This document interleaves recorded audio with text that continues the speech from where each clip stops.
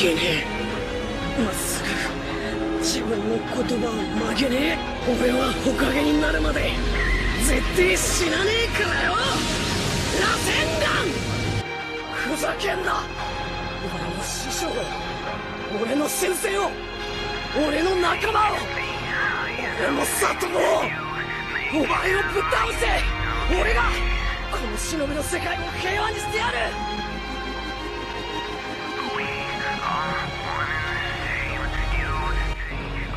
すぐ自分の言葉は曲げねえ。それが俺の人道だからだ。